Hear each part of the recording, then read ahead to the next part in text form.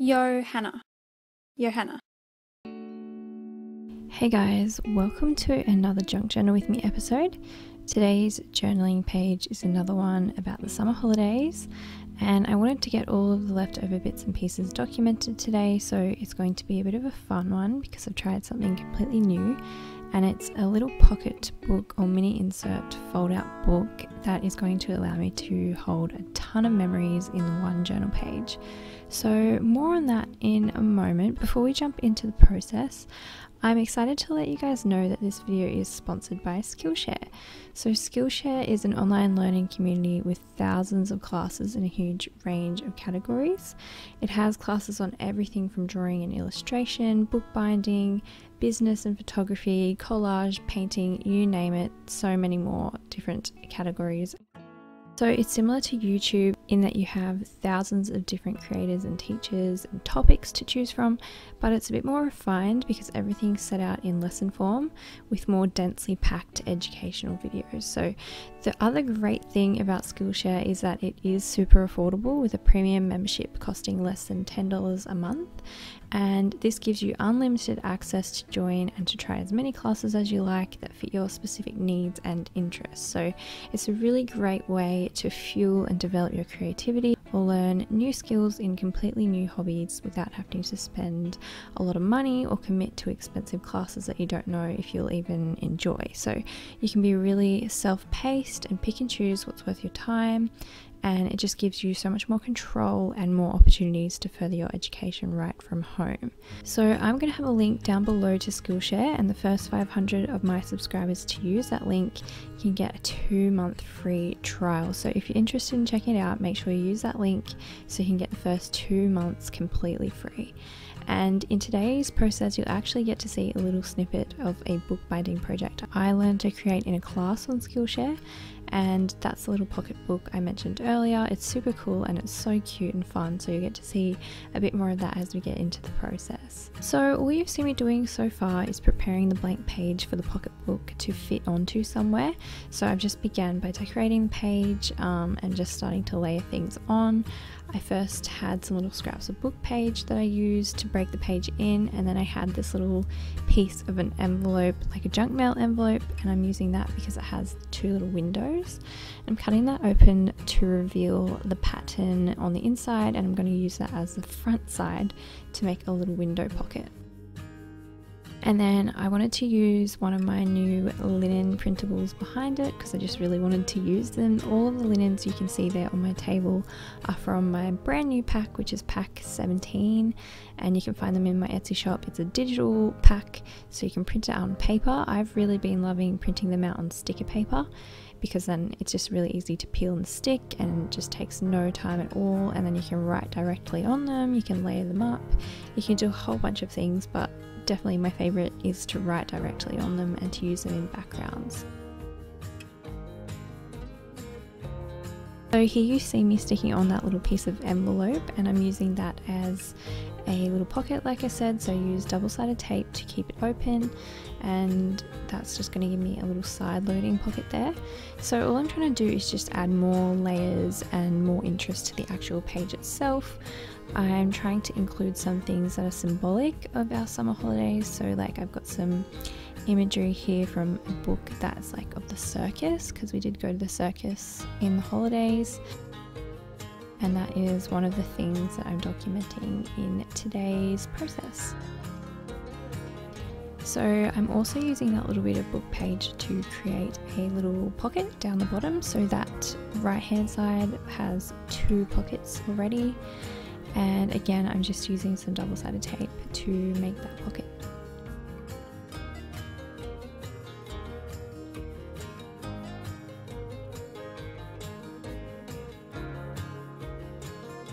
So here you can see the little um, triangular shaped book there in the corner that is the little book that I learned to make in the class on Skillshare and my idea was to attach this at the bottom of the page because it's a triangle shape it would sit in the corner of the page and it's not overly bulky it is a little bit like if you if you had lots of these in your journal it would definitely start to bulk up but um, I guess as well because I have been doing much in this journal quite yet, it's still got lots of growing room, so it fits in here just fine at the moment.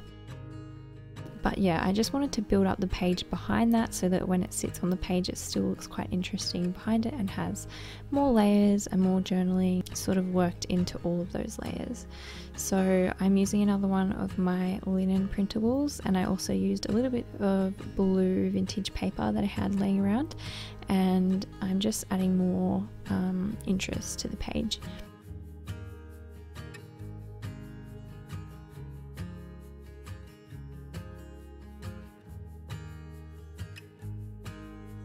I'm really liking the way that that looks for the base of my page and now you can see that fun little pocketbook. This is kind of not the best angle to show you all the little details of the book, but you will get to see more of that at the end of the video.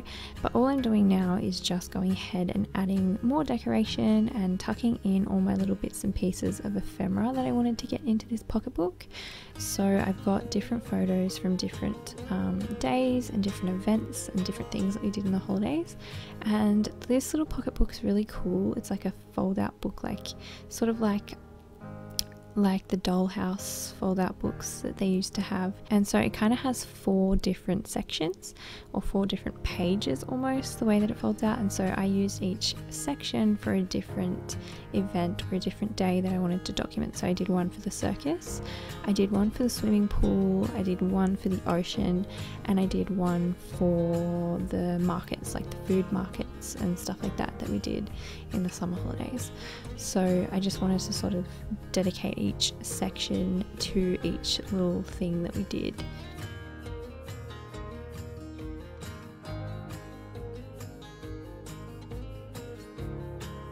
So it is, like I said, a bit of an odd angle to really show you what I'm doing, and I apologize for that, but I am just adding extra little bits of decoration. I've got little clip outs from vintage books, I've got some more of my linen printables, and then I've just got odd bits and pieces like little um, tickets and like little journaling cards and playing cards and stuff like that, and I'm just trying to fill up some of those pockets and decorate it a little bit more.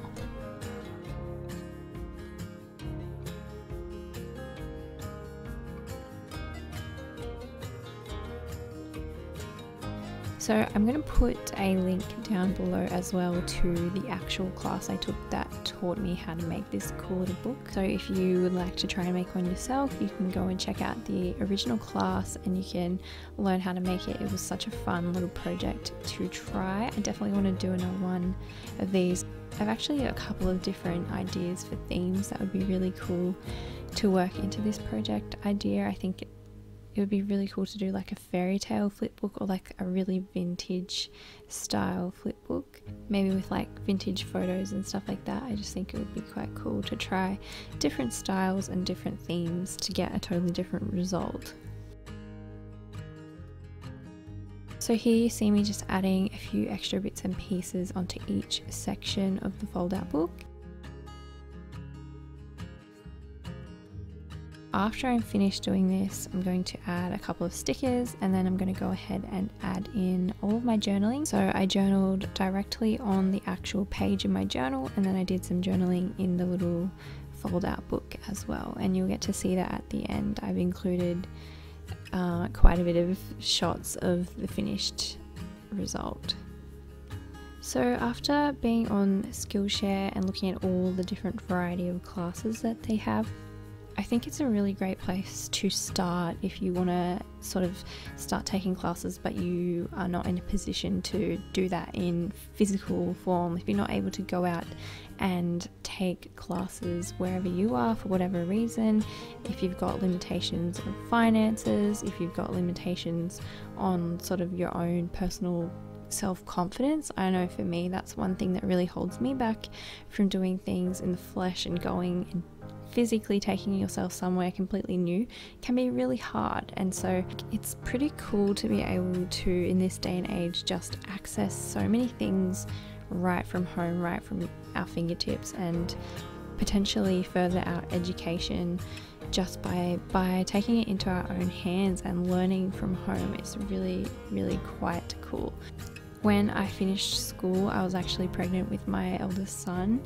and just after I finished school, I did an illustration, like a children's illustration course, and I was heavily pregnant and I was traveling to this course. It was like four hours to get there each week, once a week for eight weeks or something, and it was a good experience and it put me out of my comfort zone, but it was I mean, I was quite uncomfortable, and if I could have done that from home, I mean, I could have done that same sort of thing from home and come away with just as much education and even possibly more opportunities to continue and further it by by taking more classes and um, sort of continuing on. Whereas doing it the way that I did it and traveling to do it, it was just like a one off thing and it didn't really amount to anything. I'm still glad that I did it.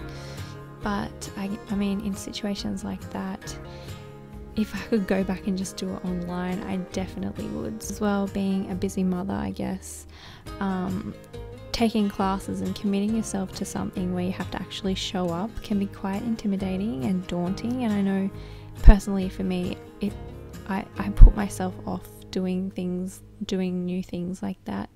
I talk myself out of it because I've got too many other commitments. So if you've got really odd sort of time commitments and and you feel overwhelmed when you commit yourself to things, it's it's really cool to be able to just do classes from home and to pick and choose what works for you and stop and start at your own pace.